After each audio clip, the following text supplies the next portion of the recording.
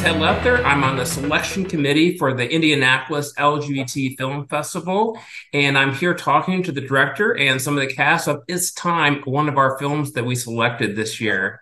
Hey guys, uh, why don't you go around and introduce yourself, and then if, if you played a character, kind of your your character that you played. Yeah, I'm uh, Rob Vaughn. I can't act to save my life, and um, I am the director.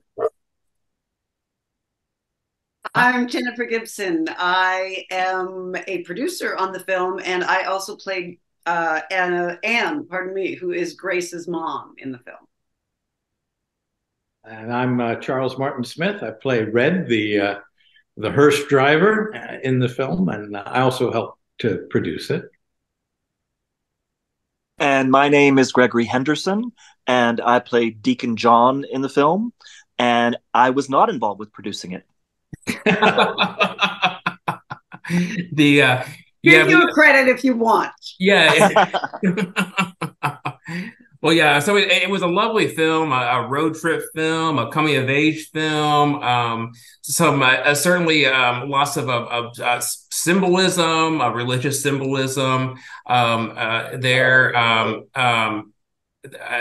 I, I don't think I'll be revealing a whole lot to say because uh, Charles mentioned he was a hearse driver. Uh, this the road trip kind of starts out in a hearse uh, as as as um, the uh, uh, the the main character is is uh, trying to find a place to deal with her her uh, her father's uh, uh, uh, her, her dead father's ashes, uh, and also uh, trying to kind of get to know him along the way. So just lots of lots of themes covered here. certainly took us all all on a journey.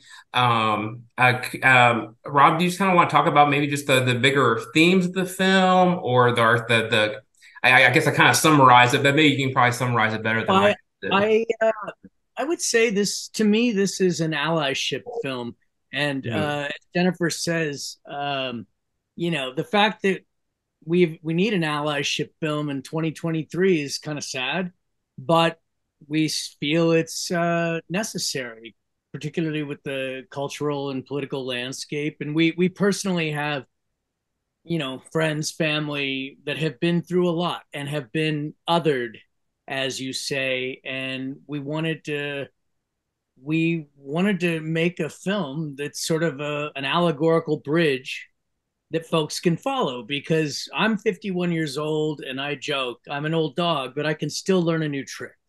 and I am a, a, a you know a, a, white straight male, and I am aware of all the privilege, but I, you know, we wanted to say something and, and, and make a social impact because there's a lot of folks that are hurting and that are that are not you know i mean this is simplifying it but whose human rights are being violated and and they're, and they're not you know and and we were just kind of done with that and so we uh we reached out to Ali Jennings, who's this brilliant LGBTQ writer in Los Angeles that Jen had developed a project with.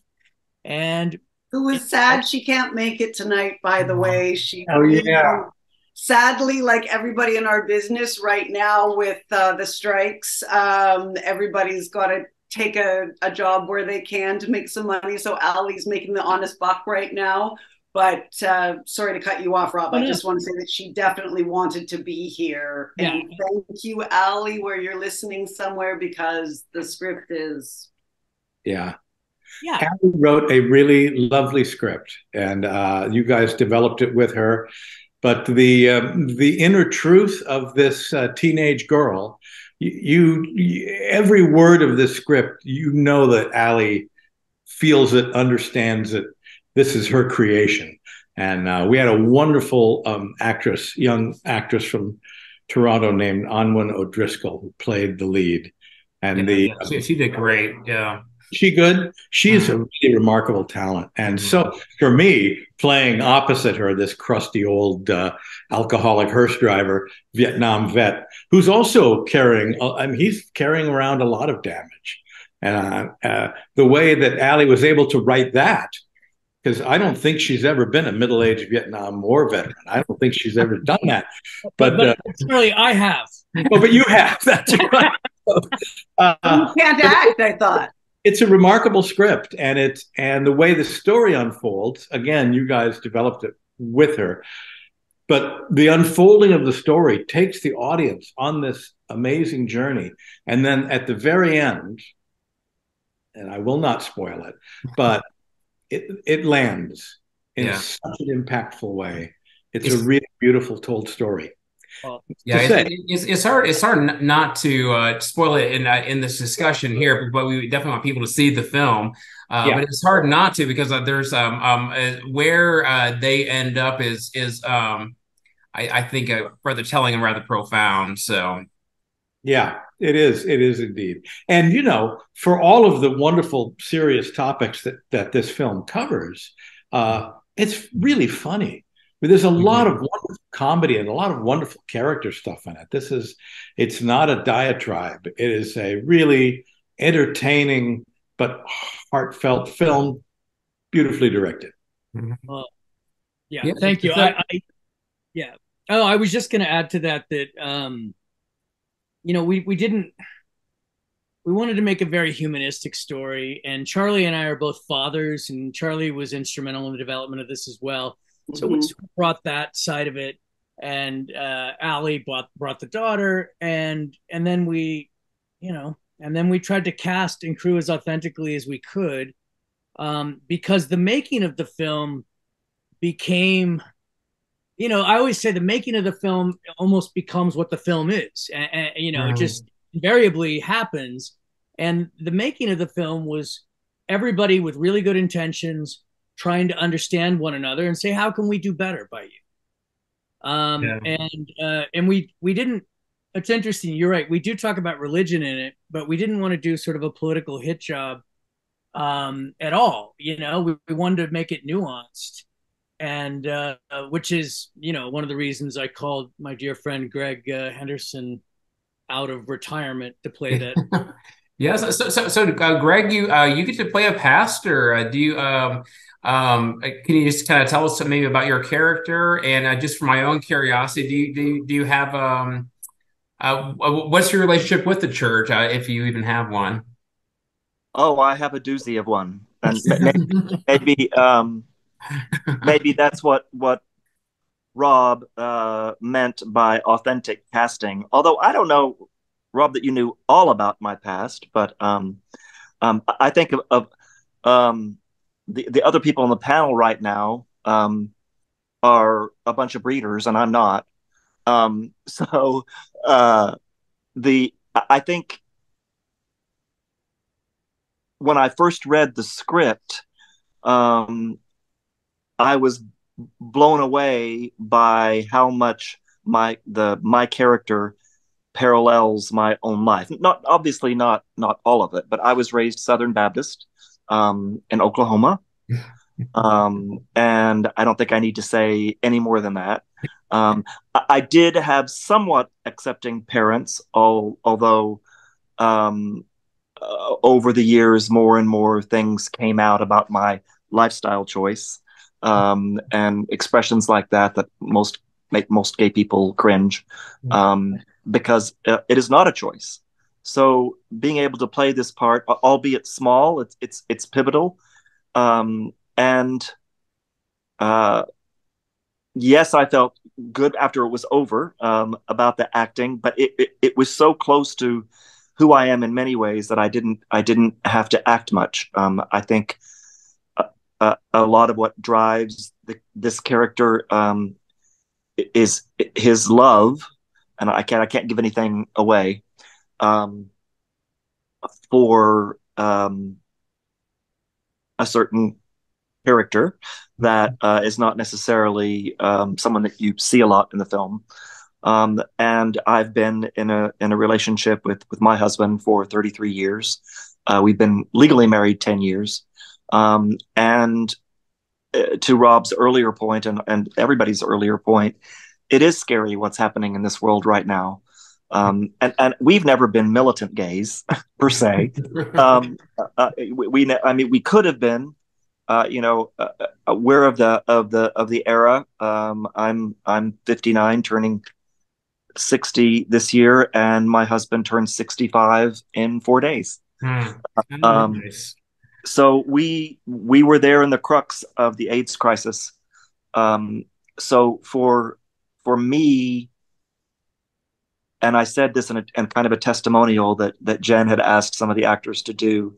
For me, growing up in this Southern Baptist environment, um, not unlike the, the lead character, wanting to be what I call the best boy in the world, always, um, and did everything right, straight A's. Everything was about pleasing my parents. Why would I? Why would I choose something that is not going to please them unless I had no other choice. Right. Right. Yeah. And there's a lot. There's a lot of that. There are a lot of those themes in the film. So it it just means the world to me to be able to have been a part of it. And now I'm going to get all teary. I'm, I'm, fighting a cold, and I'm I'm an emotional wreck most of the time. oh, well, that's that's lovely. Yeah, yeah, yeah, yeah. Thank you for yeah for sharing that. Yeah, this is um, and, and you you live in Oklahoma now. No, I live in New York. Okay. Uh, I left Oklahoma at 18. Mm-hmm. Um, then kind of I'm on, on career number three, but but acting has always been an, an, underlying part of my life. But I went to to the East to to college and got a degree in international finance, but then went to the American Academy of Dramatic Arts after that, and then was an actor for about 12 years. It's where I met my husband. We met on stage. And then I wound up on Wall Street because I got scared. Then that then 9/11 happened. I was working down there during all of that, and and my husband and I started a hotel in the Catskill region of New York State, which is extremely theatrical. Um, their, their theme rooms, all all all based on on lots of different fantasies, um, and lots of films actually. Yeah. Uh, you know what? I'm just gonna pause to do a shameless plug. Yeah. What Greg has created in New York, the Roxbury, is like it's it, it's it's astonishing and it's a fever dream. And you know, it, I always say it doesn't matter if you're acting or writing or directing; it's always the same creative energy, right? Mm-hmm. But you're channeling it in different ways. Yeah. And so Greg and Joe never stopped creating, and I and, and I and it's not fair for me to say, but I like to act like I brought the the rookie, you know, out of retirement to come pitch in the in the, in the, you know, in the game. I thought that was Charlie. Well, well, you know, like uh, what we frequently say to our guests, and and to what I was saying earlier about social media, uh, that has been a, a, wonderful outlet for for acting and so on.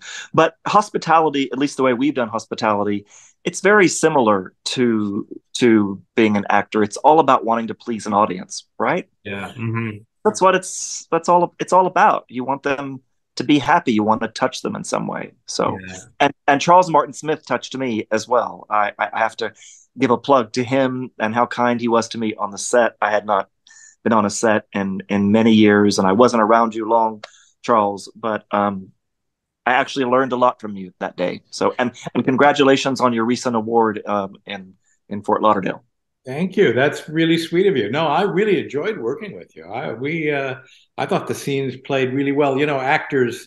We're what what is the line from Rosencrantz and Guildenstern are dead? We're actors. We're the opposite of people. it's a camaraderie when you meet another actor that you know is an actor. Yeah. Down here, there's a connection. There's always that connection. So, so, uh, so, Jen, your uh, character was a little bit, um, maybe a little bit less likable. Can you talk about your character and, and how you um, uh, played her, or, or uh, just uh, how you kind of got into that character? Uh, because you're uh, very different than that character in real life. Well, thank you. Thank you for that. If I've done, if I've portrayed that, then I'm grateful because, yeah, this is, um, I don't think I'm giving anything away to say that Anne is not at all supportive of having an LGBTQ child. And I couldn't understand where that would come from. First of all, I'm, you know, allied to the community. Second of all, my child, there's just nothing that I have a daughter, and there's absolutely nothing she could do that would make me eh, turn to something so destructive as conversion therapy. And I had to find a way to humanize her and figure out how I could play her without judging her because I judged her so much because it's a terrible thing to do. Mm-hmm. But I realized when, and I didn't grow up in a religious household, so I didn't have that background, but doing the research that I did, uh, it's a lot of fear.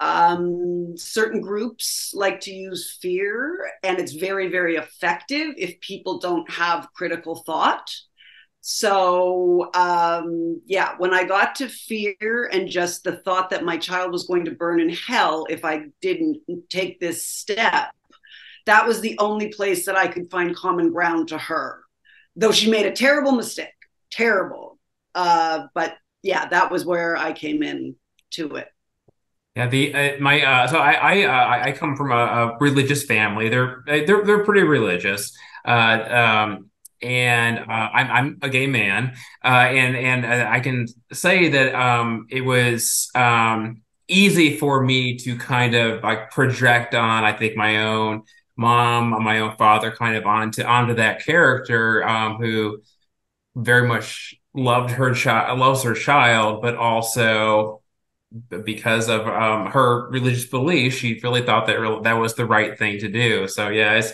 it's it's, it's a very a confusing relationship, isn't it? It's that you almost have to hold like two, like for us, hold like two very different ideas and have this person believe they're the same idea. Kind of, yeah. It's it's it's a it's a very hard thing to play. I would imagine.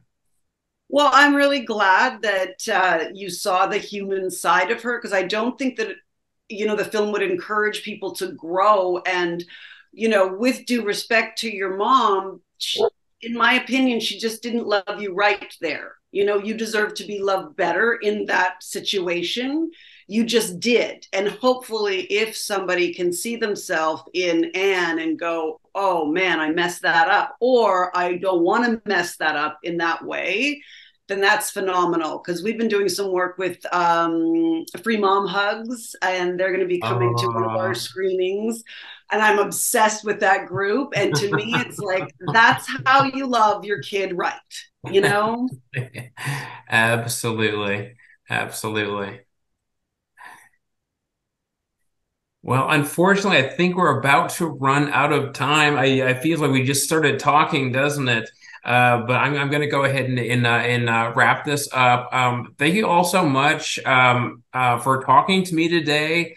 Uh, and and for making this film, so it was it was a lot of fun to watch. Um, Robert or Rob, I don't know if you have like any kind of a final words you want to say, or or or kind of final thoughts to to wrap up our discussion. What I want to say is, we can do better, and we should do better, and we should try to do better. We're gonna all make mistakes, but if the intention is right, if there's love and and empathy and understanding and, and even just if that is your intention even if you screw it up it doesn't matter. You know what i mean? All the mistakes can be made but just keep trying because we need to do better by each other. And and i want my daughter uh, to grow up in a better world. And and i think everybody would agree with that statement. And and, and so I, I hope i hope this film can speak louder than any politician and and connect with people. And I'm just grateful to you, Ted, and and the festival for playing the film. Yeah, thanks, Ted. Thank, Thank you. you. Absolutely. Thank you. Yes, yes.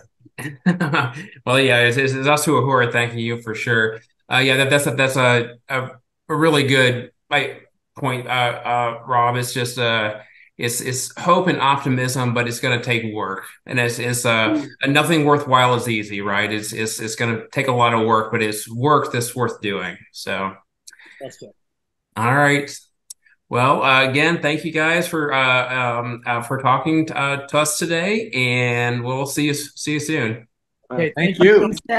Thanks. Bye-bye. Bye.